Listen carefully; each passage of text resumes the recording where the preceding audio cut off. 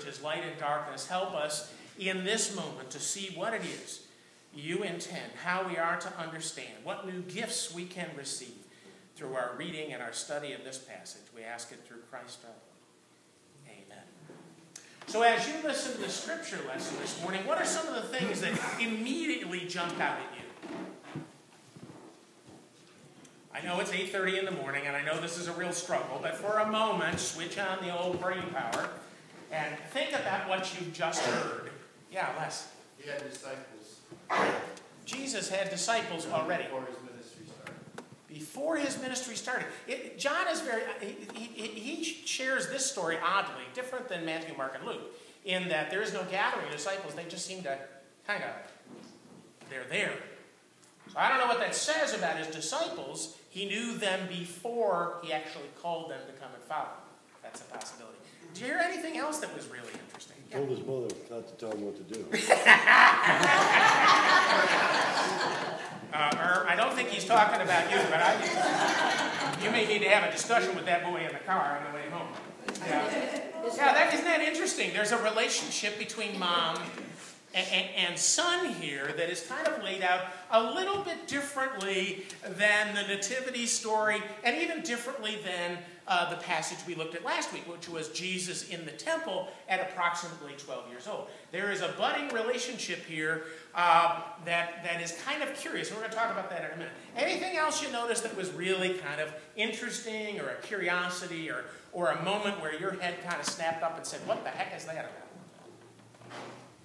Nothing. Is this passage so familiar that there's nothing? The transformation of the water to the was the best. Yeah there's something going on there that doesn't make a lot of sense when you first listen. I mean, the idea that Jesus could turn water into wine doesn't particularly disturb us. But why at a wedding feast? I mean, I've been to a lot of wedding feasts. I think that would be really cool at a wedding feast. Although, even the, the steward of the event kind of goes, this is like backwards. You know, when everybody's, what's, what's the right word? Sober. That's when you hand out the really expensive wine so everybody goes, wow, they went all out for this wedding reception. You then, after they are no longer sober, uh, hand out anything else because at that point they can't tell what it is anyway. They're no longer connoisseurs of what you're offering. This, uh, this steward realizes something crazy is going on, but he doesn't do something else. I, he, goes, he goes and finds the, the bridegroom. And, and he says to him, How did you do this? And there's no recording of what the bridegroom said. I mean, I, I would think the bridegroom would have said, What are you talking about? There's no more wine, it's all gone. There should be something else that you notice. Where, where was the wine? In the big vats that they were washing their hands in. The big water things. Because the, the tradition was, of course, that you didn't go to feasts like this without doing the ritual washings that required, at the minimum, foot washing. Their stone jars, which is interesting, they weren't like, uh, like pottery.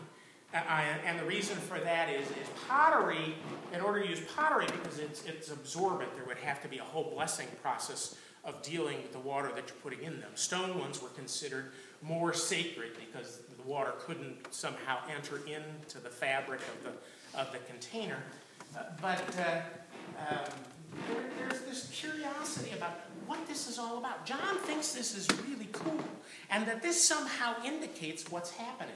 And, and, and in a sense, he kind of gives us that first little piece about the relationships going on between Mary and Jesus and the disciples and kind of walks away from that and heads us into a new direction. He says, This is the first of Jesus' miracles.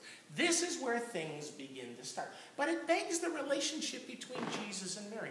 I, I, I find it interesting that you haven't wondered about something else. How did she know he could do a miracle? Well, that might be one thing, yes. What, what was she really asking from him? Because she doesn't say, by the way, Jesus, go turn some water into wine. Um, I'm not even sure her expectation was that this would be a miracle. She just thought that her son should do something. Although this raises the question of relationship between mother and son. I also think it's interesting. Maybe this is just, you know, personal But there's no Joseph. Joseph isn't there. Um, and there's no suggestion Joseph, Joseph, Joseph should be there. Uh, and in fact, Joseph never comes into the story uh, again. Um, our surmise is that Joseph has died. And that in fact, um, this is now a unique relationship between Jesus and his mother, although there is suggestions other places in Scripture that there's other uh, family members, at least other brothers, if not other brothers and sisters. Um, but Joseph is gone. They've gone to a wedding feast. There is the oddity that Chris pointed out that, in fact, the disciples are at this wedding. There's no explanation about why they're there and how they got called, or Les pointed that out. Um, there, is, uh, there is also this unique relationship between Jesus and Mother. Mary feels totally unabashed about deciding that this problem should be Jesus' problem. Um, and I don't know. People have tried to wonder about this. Uh, why Mary would take it into her heart that the lack of wine at the wedding was somehow a family issue. Maybe that suggests that, in fact, this wedding, the reason Jesus and Mary are at this wedding, is that, that this is a wedding feast of someone who is immediately related to them. You know, a niece or a nephew somehow to Mary. And that going there, they felt personal family, a familial responsibility for the wedding feast falling apart uh, know a little bit about big wedding feasts because my sister married a man who is uh, from New Delhi. Uh, normally, if the wedding had taken place in New Delhi, uh, the wedding reception would have gone on anywhere from three to five days. Uh, because of that tradition, you have to have massive amounts of food, you have to have massive amounts of beverage. Um, another interesting little tidbit is that though we kind of think in our heads that wine was an everyday beverage in the Middle East, it was not. Most people who did not have uh, an extreme amount of money drank water, as scary as water could be, uh, because that was available. If you didn't drink water, you drank uh, something else, but probably not wine, because wine was one of those things that was a, sell, a saleable commodity. Uh, it was a cash crop. And so, in general, if you had wine, you, uh, you, you know, if you had grapes, you made your wine, you sold it, you got the money, that's how you used to sustain your, your family life. Uh, you would only have wine if it was a huge celebration, and like the dowry, this was a time you saved. But there is this relationship between Jesus and his mother that's hard to understand. And in fact, the idea that somehow Mary could go and find Jesus and say, by the way, son, this is our problem. We need to do something about it, or more specifically, you need to do something about it, really raises great questions. Of course, this is where uh, the beginning place where the Catholic Church um, cr- creates the doctrine of, of Mary, that somehow Mary has intercessory powers with Jesus.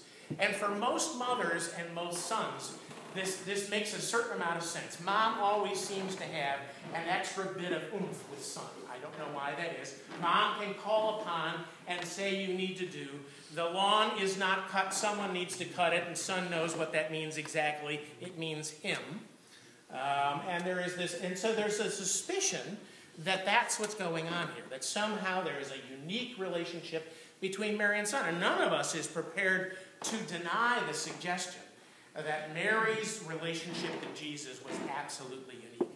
Uh, she knew him, she loved him, she seemed to understand him at a certain level. But we also have to compare that with other scriptures that suggest that at this very point, Jesus is beginning to move away into ministry in a way that will set the family a little bit off to the side uh, as he goes about the work he needs to do. The miracle takes place with no action by Jesus. He simply tells the servants to go fill the water tanks. And it's done. When they ladle out the water, it is wine. John explains that this is the sign of the new covenant that new wine has arrived. The old wine has run out. The new wine has come into existence, and it becomes the beginning of what will be this new reality of the Church of Jesus Christ. Need to play with it a little more. There's more there to mine and discover, but for right now, we're going to leave it at this place. Let's bow our heads. We thank you, O God, for the wonder of this gathering around the Scripture, for the things that we can find here, discover here, wonder about here. We find the relationship between Mary and Jesus very much like our relationships here and now, and yet with that touch, that incarnational moment that reminds us that this Jesus is uniquely the Son of God. We pray that as we continue to learn, as we are challenged by your word, that we might find ourselves enlightened and given new strength and courage and wisdom as we head forward in serving you. Be with us this day and every day, for we ask it through Christ our Lord. Amen. Inside